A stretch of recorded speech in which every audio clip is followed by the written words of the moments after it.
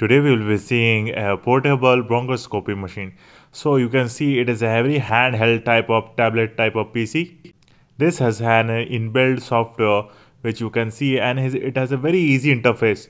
You can easily record the videos of the clinical diagnostics and you can whenever it is needed you can see it.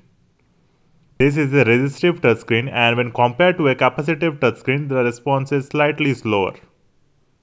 The user interface is very simple and you can see the back buttons and everything are clearly visible. Multi-touch option is not available with this so uh, options like pinch zoom and likewise thing where you require two simultaneous touch at once so you can find a little bit of difficulty in that. The benefit of the system is it is very portable so where it is an emergency case or you want to take it so to a different place a doctor or a clinician can easily take this and use it very efficiently.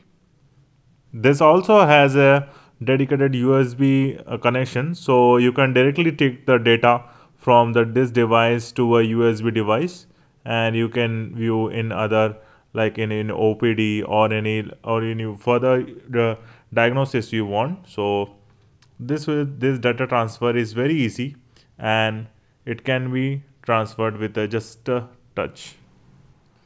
You can see the terminals ports overall design and this is charging portion.